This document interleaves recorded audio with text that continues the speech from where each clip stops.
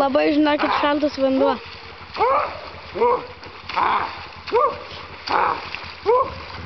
Ledinis kaip ledas.